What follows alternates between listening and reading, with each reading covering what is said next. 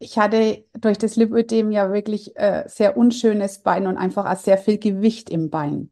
Der Mega-Erfolg war für mich nicht einmal so sehr im Spiegel zu sehen, dass die jetzt schlanker waren und ich da auch mal ein kurzes Röckle anziehen kann, sondern gerade beim Sport, wie leicht ich mein Bein über mein Fahrrad schlag, weil mit einfach viel Fettanteil im Bein ist alles sehr viel schwerer und auch immer ein bisschen der Schmerzfaktor dabei. Und das war für mich echt so das Allerschärfste, wo ich gesagt habe, boah, jetzt merke ich, da ist an den Beinen weniger. Herzlich willkommen in der Podcast-Show Once a Week, deinem wöchentlichen Fokus auf Ernährung, Biorhythmus, Bewegung und Achtsamkeit. Mit Daniela Schumacher und das bin ich.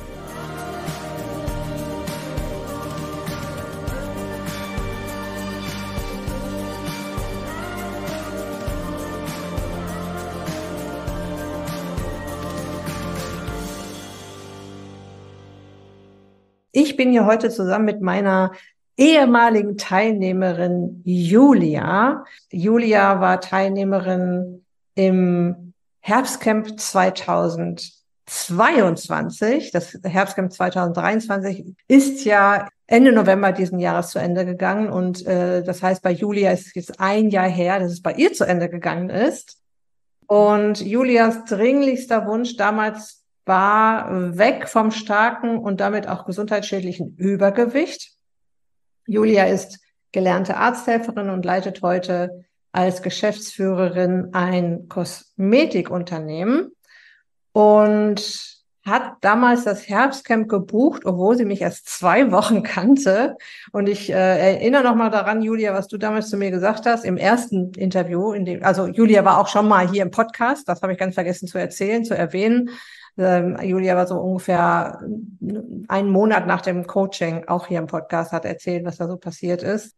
Damals hast du mir gesagt, ich wollte das Herbstcamp nicht an mir vorbeiziehen lassen. Ja, was dir, liebe Julia, dieser mutige Schritt gebracht hat, erfahren wir heute bei deinem zweiten Besuch. Ich, als Podcast-Host und als Coach, habe mir auf die Fahne geschrieben, meine Teilnehmerinnen in Zukunft öfter einzuladen, um auch die Nachhaltigkeit meines Ist dich glücklich Konzepts zu unterstreichen. Also auch mal zu hören, wie geht es denn den Frauen, die da damals in deinem Podcast waren? Was ist denn aus denen geworden? Herzlich willkommen erstmal, liebe Julia. Hallo, meine liebe Daniela. Ich freue mich. Und ich mich erst. So, du bist äh, also im Oktober 22 recht spontan äh, ins Herz Herbstcamp gestartet. Mhm. Und zwar mit Voraussetzungen, die alles andere als ermutigend waren. Du warst mit damals 42 bereits in den Wechseljahren, also in der Prä- oder Perimenopause. Du hast Hashimoto, wo ja auch viele sagen, ja, ich habe Hashimoto, damit kann ich ja nicht abnehmen. Haben ja schon ganz viele gesagt, äh, das funktioniert nicht. Und mit dieser Hashimoto hast du natürlich eine Schilddrüsenunterfunktion und zusätzlich noch ein Lipödem. Richtig. So. Und viele Frauen denken ja, also wenn ich eine Schilddrüsenunterfunktion habe, dann kann ich ja nicht abnehmen. Andere sagen, ja, wenn ich in den Wechseljahren bin, das ist ja fast unmöglich abzunehmen, das ist ja ganz schwierig. Und ein Lipödem, ich nehme mal an, dass dein Arzt zu dir gesagt hat, das wirst du mich jetzt gleich vielleicht berichtigen oder bestätigen, ich weiß es nicht. Ja, das bleibt jetzt so, ne? Da können wir nichts dran machen an dem Lipödem. Genau, du kannst nicht abnehmen und mach bloß kein Muskeltraining, weil das macht das Ganze noch schlimmer. Das sind die Aussagen, die du da meist kriegst. Hattest du dir vorher schon Gedanken darüber gemacht, dass es ja so einiges gibt, was deine, was deine Gewichtsreduktion ausbremsen könnte, obwohl du jetzt so ein tolles Co Coaching hier mitmachst? Also da habe ich mir null Gedanken gemacht, dass das irgendwie ausbremsen könnte. Ich bin da besten Wissen und Gewissens rein und habe gesagt, ähm, probiere ich, mache ich, weil aufgeben war so die letzte Option von dem Ganzen, was ich wollte und so bleiben wollte ich ja aber auch nicht. Und ähm, probiert habe ich vieles, weißt du ja. Ähm, und dann, ich bin, nee, ich bin besser Dinge rein, habe mir keine Gedanken darüber gemacht, dass mich irgendwas ausbremsen könnte. Nee, hatte ich nicht. Ähm, weil so meine Einstellung ist immer weiter, immer weiter. Ne? Das, ähm, irgendwann kommt das, was für mich, für mich und für meinen Körper und meinen Stoffwechsel vielleicht endlich mal das Richtige ist. Und das war es ja dann auch. Ich habe ja immer zu dir gesagt, ähm, so nach wie ich gemerkt habe, boah, das funktioniert und es ist nicht so schwer, wie ich es mir am Anfang vorgestellt habe, ähm, weil man ja doch ein bisschen Umstellung hat ne, zu gewissen anderen Dingen. Du musst immer ein bisschen mehr in Vorbereitung sein, ne? damit du eben nicht in so einen Heißhunger reinkommst und dann ist vielleicht nicht da, nicht das da, was du essen darfst. Aber das war dann doch einfacher wie gedacht. Mit der, mit der passenden Vorbereitung hat es ja sowieso dann richtig gut geklappt. Aber Bedenken, nein, zu keinem Zeitpunkt. Kannst du dich noch daran erinnern, wie so die ersten ein bis zwei Coaching-Sessions für, für dich waren? Gab es da irgendwelche Bedenken in dem Moment noch oder hast du gedacht, oh Gott, oh Gott, äh, also jetzt ganz am Anfang, ganz, ganz vorne, ne? als ich angefangen habe, euch das ist sich glücklich Konzept ja. nahezubringen? Ähm, wir sind ja, wir haben ja mit verschiedenen Challenges gestartet und die erste war für mich eigentlich gleich so, dass ich gesagt habe, okay, ich versuche relativ schnell das alles wegzulassen, was die störenden Faktoren sein könnten und ähm, habe dann sogar ein paar Tage übersprungen, weil ich relativ gemerkt oder relativ schnell gemerkt habe, das tut mir gut. Und ähm, ich habe einmal ganz am Anfang zu dir gesagt, so nach ein paar Wochen, ich habe das Gefühl gehabt, mein, mein, mein Stoffwechsel ist auf, aus dem Dornröschenschlaf erwacht. Und ähm, ich glaube, das hatte viel gerade mit der allerersten äh, Challenge, die wir ja hatten im, im Coaching zu tun. Und von daher Bedenken, nein. Und dass man vielleicht irgendwas vermisst, ja, da war, ist die Motivation zu groß gewesen bei mir. Also, mh, hm, nee, könnte ich, könnte ich nicht sagen. Jetzt bist du ehemalige Arzthelferin oder gelernte Arzthelferin und bist ja auch noch in einer äh, Ausbildung zur Heilpraktikerin. Ja. Das heißt, du hast ja schon ordentlich Wissen mhm. gehabt, als du ins Coaching gestartet bist. Mhm. Und gab es denn trotzdem noch Aha-Momente für dich? Ja, ich habe mich ja vorher meiner Meinung nach nicht schlecht ernährt, ne? Meiner Meinung nach ist ja. Äh, und habe ja mit ähm, Haferflocken und Kartoffeln, das war ja so mein Lebensinhalt, ne? Haferflocken und Obst und Kartoffeln. So, davon habe ich mich ernährt. Und habe ich gedacht, ich mache alles richtig. Und dann kamen, kamen so die ersten ähm, äh, Coachings und ich denke, boah, Julia, eigentlich hast du alles falsch gemacht, wo du doch gedacht hast, somit magst du alles richtig, ist komplett verkehrt rum gewesen, weil genau das ja den Stoffwechsel nicht gut getan hat. Und durch das Weglassen dieser Dinge war ja da schon mal der erste Schub getan. Und du hast also von der Energie, also ich habe schon immer relativ hohes Energielevel, aber du hast da, da noch mal so einen Schub gemerkt gehabt, dass das Freude gemacht hat. Und ähm, mit jedem Rezept, was man mehr gemacht hat und mit jedem Lebensmittel, was man wegen mehr kennengelernt hat, ähm, ist das ja alles noch viel leichter geworden. Und ich hatte sehr viele Aha-Effekte. Ich habe ja für mich immer Fett ausgeschlossen gehabt. Ähm, bloß kein Fett, ne? kriegt man so beigebracht oder haben so viele Diäten in sich. So, und mittlerweile ähm, nehme ich so viel Fett wie noch nie zu mir Klar, gute Fette, manchmal aber gern auch Sahne in meinem Müsli. Ne? Habe ich überhaupt keine Angst mehr davor. Und war ich dann beim Check, das, wenn ich jetzt kleiner Exkurs, aber da war ich beim Check beim Kardiologen. Und dann habe ich gesagt, ich würde mal gern wieder meine Fettwerte messen lassen, weil die waren eigentlich nie gut, als ich auf Fett verzichtet habe. Und dann ähm, ruft er mich an und sagt, boah, die sind super. Und ich habe schon gedacht, der ruft an und sagt, boah, die sind äh, total hoch, weil ich habe ja mehr Fette da. Aber die waren niedriger, als sie jemals waren. Und das war für mich echt nochmal so, das war eins der AA-Erlebnisse, wo ich nie gedacht habe, ich kann Fett essen und nimm noch dabei ab. Ne? Das ähm, hat mit ganz vielen Dingen zu tun. Da müsste ich jetzt ins Coaching gehen. Das machen wir jetzt hier nicht. Machen ne? wir nicht. machen wir nicht. Aber wichtig ist das Ergebnis. Ja. Ähm, was viele oder bevor viele Frauen Angst haben, äh, bevor sie, egal welches Coaching, welche Ernährungsumstellung starten, ist, ich werde sicher nicht satt. Ja, sie nimmt mir bestimmt wieder mein Essen weg und ich muss bestimmt weniger essen und ich muss bestimmt wieder hungern und sie nimmt mir vor allem die leckeren Sachen weg und so weiter. ja, also das wird ganz furchtbar. Aber ja gut, ich mache das jetzt mal, weil ich, ich will ja hier mein Gewicht reduzieren. Wie war das äh, da mit dir? Was hast du da für Erfahrungen gemacht? Also ich konnte mehr essen als je zuvor mehr essen als je zuvor. Das muss ich wirklich sagen. Ähm, weil ich habe mir ja vorher diese Einschränkungen mir gegeben, eben mit, ähm, sagen wir mal, für mich gesunden Lebensmitteln und dann nur bis zum gewissen Maß. Und ähm, jetzt habe ich Portionen auf dem Teller, die richtig reichhaltig voll ausschauen und auch bestimmtes sind. Und an Verzicht oder dass ich gedacht habe, ich war nicht satt zu keinem Zeitpunkt, weil man ja auch trotzdem noch ein wenig so viel Tools äh, dazu hatten und so viel Nahrungsmittel, die man mal trotzdem zwischendurch mitnehmen konnte, auch wenn man unterwegs ist oder einfach dazu essen konnte. Also nee, habe ich an, an Verzicht oder dass ich auf zu wenig? Nein, eher ganz im Gegenteil, mehr als vorher. Ich kann jetzt mehr essen wie vorher und ähm, ja, bin schlanker als ich je war. Ne? Reden wir gleich noch drüber, was da passiert ist. Du bist ja Unternehmerin. Wie viele Mitarbeiter hast du? 17 sind wir insgesamt. 17 Mitarbeiter. Das heißt, du bist ja auch ziemlich eingespannt, gehe ich mal von aus. Ja, mit Leidenschaft. das ist gut, wenn es mit Leidenschaft ist. Ja. Wie wuppst du das denn mit den Mahlzeiten? Du hast es vorhin im Vorgespräch schon mal angedeutet, dass du ohne Vorbereitung gar nichts geht. Mhm. Ähm, und das ist tatsächlich auch ein Thema, das ich immer wieder im Coaching bespreche, dass wir uns ähm, ein wenig mehr vorbereiten müssen. Es kostet gar nicht so viel mehr Zeit mhm. am Ende des Tages, aber wir müssen uns ein bisschen mehr vorbereiten. Einfach um gewappnet zu sein, ja, einfach um eben nicht auf den Süßkram zugreifen zu müssen, weil jetzt nichts anderes da ist oder weil man hungrig nach Hause kommt und äh, dann irgendwas isst.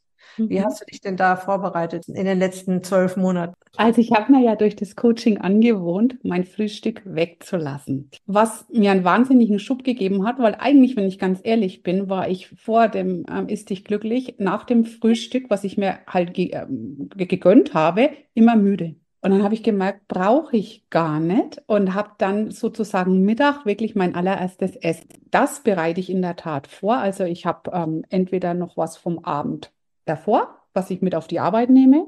Oder ich ähm, statte mich aus mit Frischkäse, mit Gurke, mit Tomate, mit körnigen Frischkäse. Meine Hauptmahlzeit ist am Abend in der Tat. Da kochen wir frisch. Und für alle Notzustände habe ich immer irgendwo Eiweißpulver an Milch und Shaker mal äh, gekochte Eier, wo man schnell drauf zugreifen kann, mal eine Portion Nüsse. Das sind so die Dinge, die immer ähm, griffbereit sind. Auch mal ein gutes Stück Käse oder mal ganz normale Käse, die man überall kriegt, die relativ viel hohen Proteingehalt haben ähm, und einfach nicht zu schwer sind. Das ist das, was ich immer griffbereit habe. Wahnsinnig gerne mal ähm, in der Mittagszeit, dann, wenn ich das Essen angefangen habe, an Cappuccino mit Erbsenmilch. Ich mag ja gern Milchersatz. Und da tue ich dann ab und zu mal so ein ganz kleines Stückchen Zartbitterschokolade, 99 Prozent, eintauchen, mein absoluter Favorit. Und so ein Cappuccino und ein Stück Zartbitterschokolade können unheimlich satt machen, wenn man das dann mal gewohnt ist. Aber ich habe immer irgendwo im Kühlschrank bei uns Dinge lagern, die ich zwischendurch essen kann, wenn ich in einer Notsituation komme, dass ich sage, ich bin viel länger in einem Termin als geplant und muss aussetzen und ansonsten vorbereitet. Ähm, wir haben mittlerweile, mein Mann und ich, wir haben so ähm, Boxen, die man erwärmen kann an der Steckdose, wo unser Essen drin ist, wo man nicht irgendwo eine Mikro braucht. Die steckt man ein, Viertelstunde später ist das Essen vom Abend zuvor warm. Ne? Mhm. Und, ähm, ja, und abends kochen wir wieder und dann wird es mitgenommen. Ne? Genau, das ist so das äh, Meal Prep oder Vorkochen oder Doppelkochen. Super. Was ich gar nicht weiß von dir, ob du mal so ein richtiger Zuckerjunkie warst. Phasenweise, ja. Ähm, so gewisse Tage, wo ich mir das immer gegönnt habe aber da richtig zugeschlagen habe, ne? Also Haribo oder ähm, ja, so richtig Schokolade eigentlich nie. Auf das Zartbitter bin ich erst durch dich gekommen, beziehungsweise auf diese 99-prozentige Schokolade, die ähm, echt lecker ist, wenn man die aus, eiskalt aus dem Kühlschrank isst. Aber vorher war ich schon so ein Typ, der mal ganz so Gummibärchen gegriffen hat oder irgendwelche ganz tollen Eissorten mit ganz viel Schokolade noch drüber. Ja, doch, ich konnte schon Zucker ähm, zu mir nehmen, vor allem in Stresssituationen. Wenn du wirklich einen Tag gehabt hast, wo du gedacht hast, boah, was war heute los? Wo ist der hin? Und dann die Belohnung halt. Ne? Das konnte ich schon, ja. Also ich kann mich erinnern, dass du eine sehr konsequente Teilnehmerin warst, ja, und du hast, äh, ich habe erzählt, wie das funktioniert und du bist bam losgelaufen und hast das umgesetzt. Was ich mich jetzt aber gerade frage, ob du heute vielleicht doch auch mal sündigst, beziehungsweise wie konsequent bist du heute? Also nach wie vor super konsequent, weil ähm, ich glaube, ich darf gar nicht sagen konsequent, es geht ja irgendwann in, ins Blut über, dass du dich so ernährst. Das wird eine Lebenseinstellung. Da gehst du ja nicht mehr zurück. Wenn das dein Ding ist, was dir geholfen hat, was deinen Stoffwechsel hochgefahren hat, wo du wirklich damit abgenommen hast, bleibst du meiner Meinung nach dabei, weil das ist auch von der Ernährung her so schön und so leicht, dass das bleibt. Jetzt ist es so, dass ich mir, wenn ich jetzt zum Beispiel für die Familie Kuchen backe oder so, dass ich mir vielleicht so alle 14 Tage mal einen Kuchen backe, aber nach unserem Konzept oder nach deinem Konzept der dann ähm, einen Ersatzzucker drin hat und keinerlei Mehle, die mich irgendwo stören können. Ich mache dann lieber wirklich was, wo ich weiß, das ist noch im Rahmen und es ist aber auch so, dass ich, wenn ich so Rezepte habe, immer noch einmal den Zuckergrad halbiere, weil ich einfach dieses zu süß nicht schmecken mag. Mhm. Und ich habe ähm, auch für mich, wenn ich äh, auf Eiweißshakes zum Beispiel gehe, die ich einfach wahnsinnig oft missbrauche, weil es praktisch ist, ähm, immer einen ganz niedrigen Zuckergehalt habe, weil all dieses Pappsüße nicht mehr für mich mhm. einfach immer passt. Ne? Aber ja, ich habe mal Ausreißertage, in denen ich dann sowas mache wie einen Kuchen, der aber eigentlich legitim ist. Ne? Oder im Urlaub mal ein Eis. Ja, das mache ich. Ja, das, äh, so soll das auch sein. Jede äh, Teilnehmerin soll ja so in ihren eigenen persönlichen, individuellen Flow kommen und dein Flow ist halt, ich gönn mir ähm, ab und zu mal was. Ähm, das muss gar nicht so oft sein. Süß mag ich gar nicht mehr so sehr. Und wenn ich es mir gönne, dann mit Genuss. Super. So genauso soll das sein. Ich möchte mal so ein bisschen deine Erfolgsgeschichte ähm, beschreiben, weil du, das Schöne ist ja, du hast mir immer geschrieben mhm. zwischendurch, ja, also so alle paar Monate quasi mhm. und hast mir dann auch immer ein Foto mitgeschickt. Konntest also ganz genau sehen, was sie getan hat mhm. und zwar im Bikini. Ja. Das erste Mal hast du mir geschrieben am 16.12., das war ein halber Monat nach Ende des Herbstcamps. Und da hast du mir geschrieben, äh, guck mal hier, das war am 11.10. und jetzt ist 16.12. Und da hattest du schon weniger Umfänge. Ja. Ne, da hast du mir noch gar nicht geschrieben, was du jetzt abgenommen hast, sondern einfach, man hat gesehen, da ist schon was passiert. Ja. ja. Am 6.1. noch mal weniger Umfänge. Du hast mir geschrieben, ich habe mir Hosen in Größe 42 gekauft, erst 44 ausprobiert und du kommst von Größe 46, 48. Ja. Mhm. Was für mich dann auch bedeutet, dass auch deine Lipödem-Beinumfänge zurückgegangen sind. Richtig, genau. Also ich hatte durch das Lipödem ja wirklich äh, sehr unschönes Bein und einfach auch sehr viel Gewicht im Bein. Der Mega-Erfolg war für mich nicht einmal so sehr im Spiegel zu sehen, dass die jetzt schlanker waren und ich da auch mal ein kurzes Röckle anziehen kann, sondern gerade beim Sport, ähm, wie leicht ich mein Bein über mein Fahrrad schlag, wie leicht ich einen Golfplatz laufe, weil mit ähm, einfach viel Fettanteil im Bein ist alles sehr viel schwerer. Auch Crosstrainer war für mich im Fitnessstudio so eine Sache, da, da renne ich jetzt davon. Das war vorher einfach nicht möglich, weil das Bein das sogar nicht mitgemacht hat und auch immer ein bisschen der Schmerzfaktor dabei war. Und das war für mich echt so das Allerschärfste, wo ich gesagt habe, boah, jetzt merke ich, da ist an den Beinen weniger. Und das Schöne ist auch, das kennen die Lipödem-Mädels bestimmt, du läufst ja ja die Beine auf. Also gerade im Sommer, wenn du nicht wirklich Hose anhast und auch, da musst du immer Leggings anziehen oder sonst irgendwelche Kompressionshosen, die es da gibt und weil die einfach wahnsinnig schwitzig sind. Ähm, und dann läufst du dir die Beine blutig ne? und ähm, Blasen. Und das ist einfach das, was, was so mega war, weil das war dann weg und dann, dann habe ich für mich gesehen, boah ja, die Beine, die ja eigentlich nie abnehmen können, wie es immer so heißt, nehmen ja doch ab. Ne? Das war dann ähm, wirklich das, das Allergrößte, äh, dass das geht. Und die sind auch ja jetzt äh, in, in dem Zeitpunkt, wo ich jetzt bin, also ich bin jetzt ähm, kurz davor, dass Größe, Hosengröße 38 locker sitzt. Ich war ja, das weißt du ja, ich bin kein Verfechter der Waage. Überhaupt nicht. Ich habe über alles über Fotos gemacht und gemogen und gemessen, war ich vielleicht einmal im Jahr im Fitnessstudio.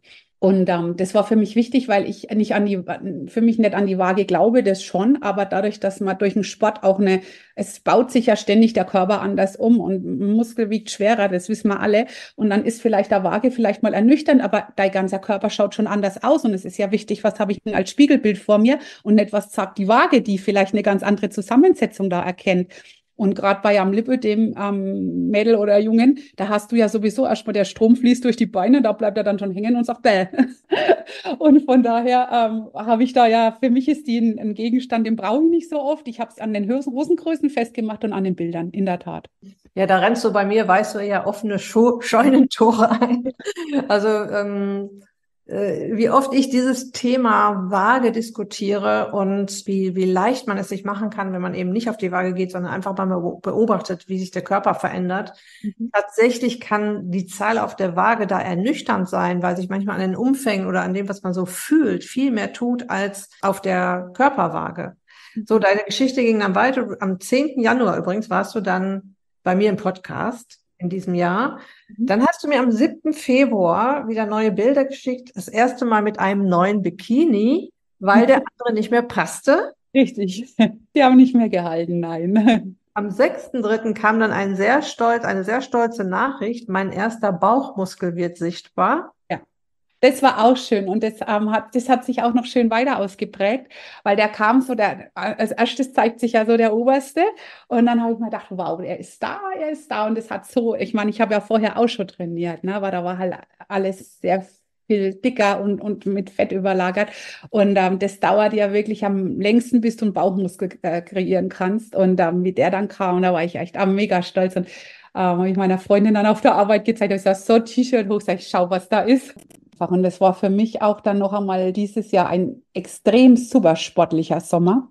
Für mich ist trotzdem immer äh, Fitnessstudio noch ein großer Faktor, den ich trotz vieler Sportarten noch dazu mache, weil einfach gerade der Muskelsport für so einen ganzen Körper so extrem wichtig ist. Vor allem, wenn du so ein Vielsitzer auf der Arbeit bist, wie wir alle. Wir sitzen meist vor dem schönen Gerät und dann ähm, braucht man das einfach. Ne? Und das ist das, was halt natürlicherweise dann auch mitgewirkt hat, ne? ganz klar. Das war am, das war im März, wo du mir das mit dem Bauchmuskel geschrieben hast. Dann einen Monat später hast du mir geschrieben, so, jetzt gibt's hier Größe 40. Ich habe mir mhm. Klamotten in Größe 40 gekauft. Du warst dann also nochmal eine Kleidergröße weiter, runter. Mhm. Von äh, Januar bis April ist das, hat das quasi gedauert. Dann hat ein bisschen länger mal gedauert. Da hast du mir im Juli erst wieder geschrieben, ähm, weil du da im Fitnessstudio zu dieser Messung warst. Ne? Ja. Da warst du dann auch mal auf der Waage. Ja. Und äh, hast äh, 15 Kilo Gewicht weniger, 12,7 Kilo viszerale Fettmasse abgebaut. Ja. 51 Päckchen Butter hast du mir noch geschrieben, ja. 6,4 Kilogramm Muskelmasse aufgebaut. Ja. Mhm. Knochenmasse erhöht, Belastungspuls gesenkt, Ruhepuls gesenkt, metabolisches Alter von 58 auf 39. Ja. 20 Jahre jünger in einem Jahr, finde ich schon gar nicht so schlecht. Gut, ja. äh, Belastungs-EKG, höchstmögliche Watt Wattzahl erreicht, durchtrainiertes, leistungsstarkes Herz. Und jetzt nochmal, wenn du so siehst, 15 Kilo, dann denkst du ja, mein Gott, das ist ja jetzt nicht so viel, ne? Aber wenn du siehst, okay, du siehst von Kleidergröße 46, 48 auf Kleidergröße äh, 42, ist dann mal ein ganz anderes Bild, ja? Und wenn du erzählst, wie du dich gefühlt hast und was du alles gemacht hast und im Sommerurlaub viel mehr Sport gemacht, das spiegelt ja so eine Zahl gar nicht wider. Nein, nein, drum ist Waage für mich auch sekundär. Das ist im Fitnessstudio immer mal einmal im Jahr eine ganz tolle Sache. Das war auch wirklich da waren die auch da gestanden und gesagt, wow, hast du nicht so oft, ne? Und war dann auch, ja, so abschließend oder nicht abschließend, aber mal so zwischendrin mal gut, äh, das in Zahlen zu haben. Gerade eben auch diese, diese Fettmasse, die da runtergegangen ist und die Muskelmasse, die sich aufgebaut hat. Fand ich gut mal zu hören, aber für mich ist viel wichtiger, in welcher Hosengröße stecke ich gerade und wie schaut das Bild im Spiegel aus, ne? Und ähm, genau die Zahl 15 Kilo, die macht die ist, da nehmen andere vielleicht noch 30 oder 35 ab, dann ist die Zahl sehr viel höher. Aber das, was da dasteht und wie sich der Körper umgewandelt hat, das ist eigentlich für mich das Wichtige. Und ähm, jetzt, wenn ich, wenn ich höre, ich habe mit 46, 48 Hosengröße gestartet, ja, habe ich schon fast vergessen, muss ich ganz ehrlich sagen, man vergisst es ja auch irgendwie. Ich glaube, ich habe noch eine Hose, in die muss ich mal wieder rein und ein Foto machen. Und ähm, jetzt ähm, arbeite ich darauf hin, in 38 locker zu sitzen. Das ist so das, wo ich mich dann auch wirklich einpendeln will. Dann ist das schon wirklich krass, ja. krass. So, und wir können ja auch noch mal gucken, du kamst von, das hatte ich mir nicht auch noch aufgeschrieben, von 104 Kilo und jetzt bist du fast bei deinem Wunschgewicht. Du bist ja eine große Frau, bist ja fast 1,80 groß. Ja, richtig. Ähm, äh, wolltest 80 Kilo erreichen. Äh, mhm. Das war so dein Ziel. Ja. Das hast du jetzt fast, ne? Ja, habe ich fast genau. Und da will ich mich auch einpendeln. Ne? Also ich ähm, habe ja immer mal so gedacht, okay, vielleicht muss ich, wenn man das auch so hört, 1,77 oder 1,78, was ich bin, minus 10 Prozent wiegen. Glaube ich, wäre mir nicht passend. Da wäre ich zu, da werden mir das Gesicht nicht mehr gefallen, dann wird es alles zu lang. Ne? Das ist hat ja, man nimmt ja auch im Gesicht wahnsinnig ab. Und ähm, das würde mir, glaube ich, jetzt nicht mehr so liegen. Ich glaube, ich mit den 80 fahre ich gut. Was ich noch sagen wollte, ist mir jetzt gerade eingefallen. Ähm wenn du so weitermachst, werden wir einfach mal ganz entspannt beobachten, was da passiert mit deinem Gewicht, weil ich sage immer so gerne, der Körper, oder das ist auch wissenschaftlich belegt tatsächlich, der Körper pendelt sich irgendwann bei deinem individuellen Gewicht ein, bei deinem Julia-Gewicht. Mhm. Ja, mein Mann hat seit Jahren, wiegt der, ich sag mal, ich weiß jetzt nicht genau, was er wiegt, 72 Kilo. Mhm. Er ist äh, wirklich sehr athletisch ne, äh, gebaut, wie so, ein, wie so ein Läufer halt gebaut ist. Es haben sich aber immer noch die Umfänge weiter verändert im Laufe der Zeit. Ja, also das Gewicht ist stehen geblieben und die Umfänge haben sich weiter ver verringert, so dass mich Freundinnen schon gefragt haben, ob ich ihm nichts zu essen gebe. Ja. und äh, Das ist aber auch dieses Muskeln aufbauen, Fettmasse wird weiter abgebaut und das hebt sich dann so ein bisschen auf, die Umfänge verändern sich nochmal und das Gewicht auf der Waage, das bleibt dann irgendwann stehen. Das geht dann nicht mehr weiter runter. Und das können wir aber beobachten bei dir, was da noch so passiert. Da bin ich echt gespannt, weil es ist wirklich für mich ja auch ein ständiger Umbau, gerade durch den Muskelsport. Also ich habe mittlerweile einen Mods-Oberschenkelmuskel, den man endlich mal auch sieht. Ich habe einen Mods-Armmuskel, auf den ich auch echt stolz bin. Der Körper baut sich wirklich ständig um. Das ist, das ist eigentlich der richtige Ausdruck für das, was da passiert. Ne? Du wandelst ja immer noch viel mehr vielleicht vorhandenes Fett in Muskelmasse um. Du definierst den Körper dadurch. Und ja, es ist ein Umbau, das ist richtig. Und was da, wo sich das Gewicht dann einpendelt, ist für mich dann im Endeffekt jetzt sogar wirklich sekundär. Hauptsache, ich äh, kann genau die Größe behalten, bei der ich jetzt gerade bin, weil in der fühle ich mich jetzt gerade so, also das ist so das Ding, wo ich sage, ich komme an oder ich bin angekommen. Bin jetzt gespannt trotzdem, was noch weitergeht, weil wenn nicht, müssen wir uns nochmal drüber unterhalten, wie halte ich ein Gewicht, was ich vielleicht gerade halten will, ohne weiter abzunehmen, weißt du, das ähm, müssen wir mal gucken. Es kann wirklich sein, dass sich das da jetzt einpendelt, das Gewicht. Ja. Das muss man eigentlich einfach beobachten. Wenn du jetzt sagen würdest, oh, ich möchte noch ein, zwei Kilo abnehmen, das wären wahrscheinlich eh die schwierigsten. Ja, da musst du nochmal richtig den Fettstoffwechsel so richtig in den Hintern treten, damit dann die aller, allerletzten Kilos auch noch runtergehen. Ja, ja, das erlebe ich ja bei Frauen, die eben auch ins Coaching kommen, weil sie sagen, ich werde diese letzten vier, fünf Kilo, die werde ich ums Verrecken nicht los. Und ja, man muss, muss sich da schon auch ein bisschen was einfallen lassen, vor allem in den Wechseljahren, ne? Ja, ja, natürlich. Ich meine, das ist ja auch noch äh, gestiegen. Da war ich ja so gespannt auch, ne? Weil ich habe ja da wie im Herbstcamp eben schon angefangen damit. Du hast schon gemerkt, okay, die Zyklusse ziehen sich kürzer, ne? Ähm, Blutungsdauer ist nicht mehr so lang, ein Tag oder was, wie sich das also alles einfällt, das weiß man ja. Und dann habe ich gedacht, wow, wie wird es jetzt, wenn es dann noch weniger wird? Aber das, also ich glaube, ich, glaub, ich hätte das wirklich nie verpassen dürfen, genau zu dem Zeitpunkt zu starten, weil wenn du dann in den Wechseljahren voll drin bist und startest dann, dann wird es garantiert auch funktionieren. Für mich war es aber wichtig, vorher das nochmal vorher mitzunehmen, diesen Schwung sozusagen, damit ich da eigentlich, wenn ich drin bin, überhaupt kein Problem habe, sondern lächeln da durchgehe. Ne? Mhm. Ja. Wie reagieren Menschen auf dich, die dich lange nicht gesehen haben? Ja, die wollen alles wissen.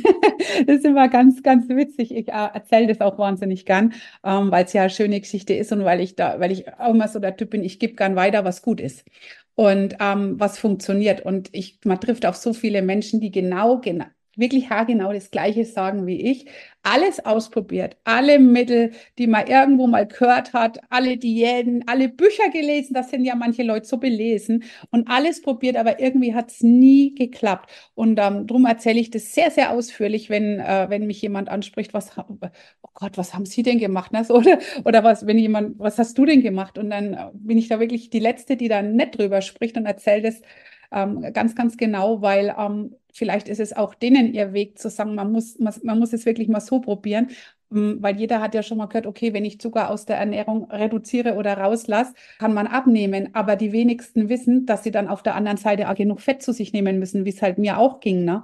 Und ähm, da stehen ja dann schon viele da und sagen, boah, ja, echt, wirklich? Na, sag ich ja, äh, ist so. Und ähm, dann von daher erzähle ich es ausführlich, aber es sind schon sehr viele Reaktionen. Was hast du gemacht und wie hast du es gemacht? Und die ganzen W-Fragen eigentlich rauf und runter, weil Ernährung oder, oder auch Gewicht ist ja bei den meisten Leuten ein riesengroßes Thema. Welch, welche Frau hat es nicht? Na? Oder welche Frau sagt, boah, ich bin mit genau dem Gewicht zufrieden, wie ich es habe, hat, hat, ja, hat ja fast keiner. Ne? Ich da wirklich auch gerne die Bilder, ähm, die ich gemacht habe, einfach um den Leuten einmal zu verbildlichen, was da passiert ist. Ne? Weil die meisten kennen dich in Klamotten und da kannst du immer doch schon noch ein bisschen kaschieren, wobei man da bei der Gewichtsabnahme an nicht wirklich, sieht man einfach, aber man sieht es dann wirklich hautnah und das ist dann schon wirklich beeindruckend. Ne? Hm. Zum Schluss möchte ich nochmal über die ähm, Befindlichkeitsstörung gehen, die du mir damals genannt hattest im Check-up-Bogen. Mhm. Wahrscheinlich kannst du dich gar nicht mehr dran erinnern, aber wir gucken mal, was davon noch da ist, beziehungsweise was sich verbessert hat. Schwindel hattest du mir angegeben. Habe ich gar nicht mehr nie. Mhm. Allergien. Nur noch Hausstaub, ähm, darauf bin ich aber desensibilisiert. Das Ganze auf so Nahrungsmittel und was ich so, sonst so vieles hatte, ist nahezu weg. Also ich kann sehr, sehr viel von dem essen, was ich früher gar nicht mehr essen konnte. Psoriasis. Nee, nicht einmal mehr am Kopf. Das war so immer die Sache, wo sie noch mal gern kam, ähm, aber nicht einmal mehr da, nein. Erhöhte Cholesterinwerte hatten wir, glaube ich, gerade schon drüber gesprochen. Ne? Die haben wir schon abgekanzelt, ja, die sind nicht mehr da. Augenmigräne zwei bis viermal jährlich. Also in der Tat hatte ich sie jetzt noch einmal.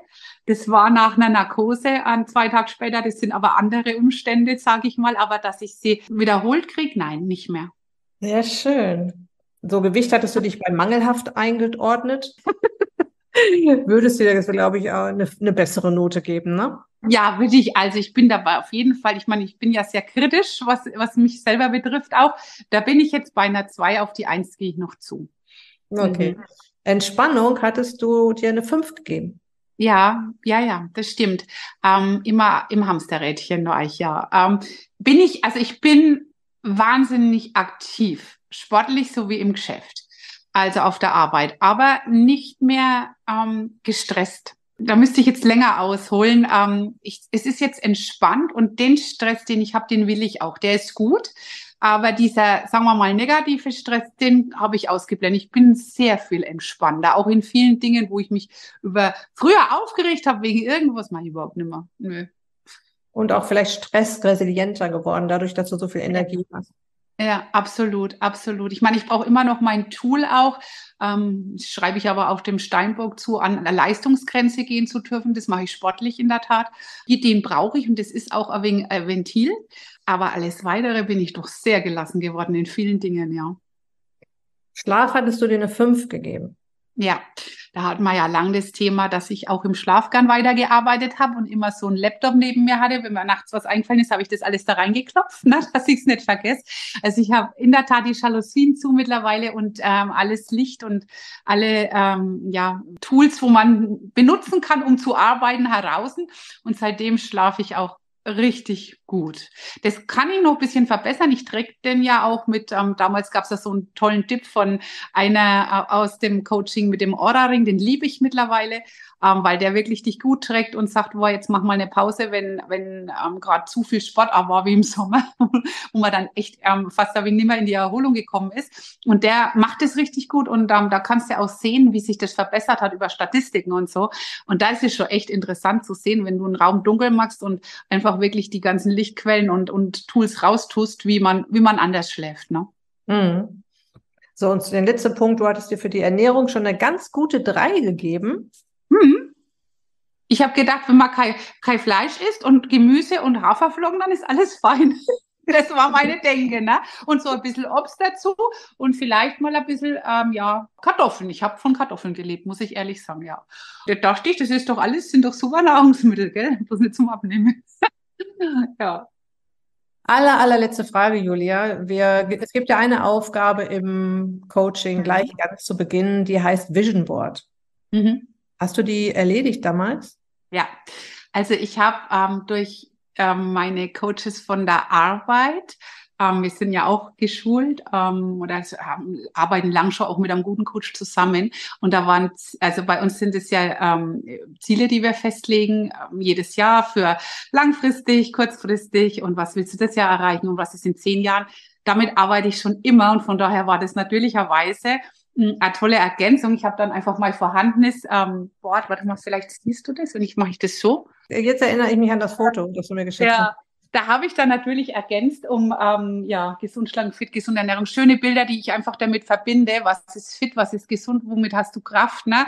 Kraft des Lebens ähm, und auch natürlicherweise Körper, wo ich dann ausgeschnitten habe und meinen Kopf drauf geklebt habe, so wie ich mir das vorgestellt habe aber arbeite ich schon lange, halte ich wahnsinnig viel davon. Habe ich auch abfotografiert, habe ich auf dem Handy drauf, auch als Bildschirmschoner, ähm, also beziehungsweise wenn du es so aufmachst, ne, ist ganz wichtig, weil man vergisst im Alltag so viel, was man sich vorgenommen hat. Der Alltag rollt oft drüber. Und dann ist das alles, was du früh noch gedacht hast, ist dann schon weg.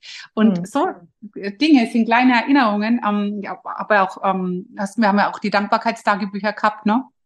Ich arbeite damit was von Veit Lindau. Ähm, das ist ähm, auch ein tolles Buch. Das ist schon eine größere Ergänzung da dazu. Aber ah, das ist so unheimlich wichtig, dass du das, was du dir vornimmst, gerade körperlich und äh, für die Ernährung nicht aus den Augen verlierst. In dem, was wir alles haben, egal ob du Mama bist oder ob du äh, normal arbeitest oder irgendwo ein Geschäft hast, die, der Alltag kommt und rollt drüber und dann vergisst du die wesentlichen Dinge. Und das äh, holt dich da ein bisschen zurück, ne? Sehr schön. Wunderbar, liebe Julia. Ich danke dir sehr für deine Geschichten, die jetzt passiert sind in den letzten zwölf Monaten, dass du meine Zuhörerin hier an die Hand genommen hast und ihnen erklärt hast oder erzählt hast, was sich getan hat bei dir, wie du dich dabei gefühlt hast, ähm, welche Erfahrungen du gemacht hast. Mhm. Und das ist so wertvoll, ja, für die Frauen da draußen, die vielleicht auch gerne etwas verändern möchten, aber sich noch nicht so richtig trauen, weil sie haben ja, was du gerade gesagt hast, schon so viel probiert und sind so oft auf die Nase gefallen. Also es gibt ja diese Hürde, dass man irgendwo ankommt und denkt, ähm, oh, jetzt habe ich noch, jetzt habe ich zu wenig abgenommen oder oh, jetzt habe ich doch wieder was Süßes gegessen oder oh, kommt irgendwas dazwischen, was man nicht wollte und dann dreht man um und der ganze Zauber geht wieder von vorne los und das haben so viele Frauen ja auch schon erlebt und ich bin mhm. da so die über die Hürden springen Trainerin auch in mhm. den Coachings ja mhm. und auch in diesen äh, acht Wochen ähm, des Herbstcamps, wo du drin warst und das nächste Camp äh, folgt ja jetzt, das ist das Wintercamp, das Anfang Januar startet. Ja, ich finde es einfach äh, Hut ab, liebe Julia dass du da so durchgezogen hast und dass du dich äh, nach nur, nachdem du mich nur zwei Wochen kanntest, an die Startlinie gestellt hast und sagst, so jetzt bring mir mal alles bei und dann schauen wir mal, meine Liebe. Genau so ist es. nee, das ähm, Schöne auch, wenn ich das noch sagen darf, Daniela, ist ja, ich habe nie gedacht, dass es jemanden braucht, der mir hilft.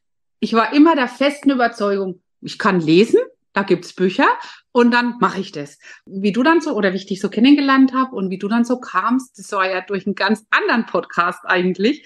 Und da habe ich mal so von dem ganzen, wie ich das boah, ja, sie spricht Wahrheiten aus und sie, sie ist so, dass sie nicht hinterm Berg hält. Und das fand ich ja im Coaching so schön, dass du den Leuten nicht nach dem Mund gesprochen hast, sondern so, wie es ist, auf den Punkt gebracht hast, weil das brauchen wir. Wir brauchen niemanden, der dann sagt, oh, ist alles schön, wenn es gar nicht schön ist. Oder ist alles super, wie du es magst, wenn du es gar nicht gut magst. Na, das ganz Wichtige ist dabei wirklich, dass diese große Ehrlichkeit, die da stattgefunden hat und ähm, die auch nie jemand krumm genommen hat, sondern ich glaube, da sind viele dankbar, das so zu hören, weil manchmal muss man das auch so hören. Ne? Ich denke auch, dass es viele Mädels da draußen gibt, die auch immer denken, ich schaff's allein, aber in der gerade mit dem Coaching, es ist ja ganz andere Liga, eine ganz andere Liga. Das kannst du dir nicht alles erlesen. Du kannst, da sind so viele Aha-Momente dabei, wo man denkt, wow, ich habe eigentlich gedacht, ich weiß viel, aber nee, wusste ich nicht und jetzt ist es gut, weil jetzt weiß ich und dann kann ich danach handeln. Ne? Ein wunderbares Schlusswort, meine Liebe. Vielen, vielen Dank für die Lorbeeren. Sehr gerne. Ähm, es gehören aber immer zwei dazu, das weißt du, habe ich dir auch immer wieder gesagt, ähm, weil du hast dich ja ganz oft schon bei mir bedankt und ich habe immer geantwortet, bedank dich auch bei dir, klopf dir auf die Schulter. Wenn ich sage, es gehören immer zwei dazu, dann meine ich ich, ich erkläre, wie es funktioniert und mein Gegenüber setzt es um. Mhm. Ja, und ähm, ich versuche natürlich auch eine ganze Menge Spaß immer da reinzubringen, dass es gar nicht sich wie eine Umstellung anfühlt, sondern es auch Spaß macht und Spaß bringt, Energie und mehr Lebensfreude und ich auf einmal bewege ich mich so gerne. Das hörte sich gerade an, als wenn ich so streng wäre. Nein, nein, da war viel Spaß dabei, aber es muss auch an einem gewissen Punkt, ja, wenn was nicht so funktioniert, wie es funktioniert, jemand sagen. Und ich kenne viele Coachings, ähm, andere Bereiche, wo das nicht auf den Punkt kommt. Aber es war ehrlich und das ist gut. Brauchen manchmal vielleicht auch klare Worte, ne? Oder Worte, die es verständlich machen. Ja, das habe ich schon öfter gehört von Teilnehmerinnen, dass sie diese meine Klarheit geschätzt mhm. haben und ähm, viele starten ja auch mit mir ins Coaching, indem sie sagen, Daniela, ich brauche jemanden, der mir in den Hintern tritt. Ja, ja, ich glaube das, weil ähm, man selber tut's nicht. Man braucht jemanden dafür, der sagt, komm, ich nimm dich an die Hand, du musst bloß mitlaufen. Ne? Mhm. Und das halt machen. Und dann funktioniert es auch. Aber ich glaube wohl, dass es im Coaching leichter ist, was vorher für mich gar nicht so klar war. Also ich habe immer gedacht, boah, man kann alles alleine schaffen. Aber gerade das war wirklich das, wo ich gesagt habe, da habe ich, äh, bin ich an die Hand gegangen und das war die beste Entscheidung meines Lebens. Liebe Julia, ich danke dir sehr nochmal für deine mhm. Zeit, mhm. für deine Geschichten. Ich wünsche dir jetzt erstmal einen ganz wunderbaren Rutsch in das neue Jahr Und ich werde dich im Blick behalten und du wirst mich bestimmt hoffentlich weiter mit Informationen versorgen, wie es bei dir weitergeht. Das mache ich gerne, auf jeden Fall. Super. Bis dann, liebe Julia. Bye, bye. Dankeschön. Tschüss. Okay, ich hoffe sehr, dass dir das Interview mit Julia auch so einen großen Spaß gemacht hat wie mir und dass du dir ein paar Impulse und eine große Portion Mut und Zuversicht daraus ziehen konntest. Wenn du Lust hast, schon ganz bald genauso voller freudiger Erwartung an der Startlinie zu meinem Erfolgsprogramm ist sich glücklich zu stehen. Die Türen zum Wintercamp öffnen sich Anfang Januar für meine Frühbucherinnen. Nähere Infos zum Wintercamp findest du über den Link hier in den Show Notes auf meiner Website daniela-schumacher.de, auch im Beitrag zu dieser Episode. Und wenn du dich dort kostenlos und unverbindlich registrieren lässt, bekommst du weitere Infos von mir, detaillierte Infos und hast ganz viele weitere Vorteile, die ich dir auf der Infoseite zum Wintercamp auch genau aufgeschlüsselt habe und lies das also gerne nochmal nach. Ich denke, der größte Vorteil, den die Frühbucherinnen bei mir haben, ist die Tatsache, dass sie sich im Prinzip das Wintercamp so ein bisschen verlängern, weil wir starten noch nicht, aber es findet schon einiges statt, bevor das Wintercamp offiziell im Februar startet. Und so können sich schon mal so ganz gechillt an die Startlinie begeben und äh, mit einigen Dingen schon mal anfangen und planen. Und wie gesagt, die Infos dazu gebe ich natürlich nur an diejenigen raus, die auch Interesse zeigen, Interesse haben, Lust drauf haben, sich das Ganze mal anzuschauen. Und deshalb lass dich, wenn du jetzt denkst, hm, das, was die Julia da erlebt hat, da habe ich auch mal Lust drauf, auf die Warteliste setzen und dann wirst du weiter von mir an die Hand genommen. Okay? Es ist kurz vor Silvester. Ich möchte es nicht versäumen, dir jetzt einen ganz besonders fröhlichen Rutsch in das neue Jahr zu wünschen und für das kommende, frisch vor dir liegende Jahr vor allem Gesundheit, viele glückliche Momente und dass es dir so richtig gut geht. Okay? Das war's für diese Episode. Ich wünsche dir jetzt noch eine ganz wunderbare Restwoche. Lass es dir gut gehen. Pass auf dich auf. Bleib gesund. Ist dich glücklich. Rutsch gut rein in das neue Jahr. Deine Daniela.